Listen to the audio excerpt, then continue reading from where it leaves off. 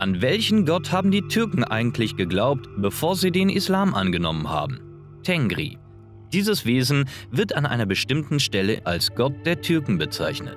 Zu ihm haben die Türken und andere Steppenvölker wie die Mongolen und Hunnen gebetet, bevor sie zu einer anderen Religion konvertierten. Die ursprüngliche Religion aller Turkvölker war also der Tengrismus, ein religiöses System, das sich um seine Namensgeber drehte.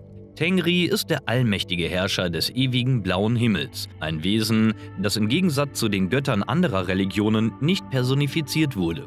Allerdings ist Tengri nicht ausdrücklich ein strafender Gott. Wenn jemand ein moralisches, gutes Leben geführt hat, wird er im Jenseits sicher gut behandelt werden. Jemand, der sich ständig daneben benommen hatte und ein asoziales Leben führte, muss die Konsequenzen tragen und die vielen Stufen der Unterwelt durchlaufen, bis er sich vor seinem gottähnlichen Wesen verantworten muss, ehrlich.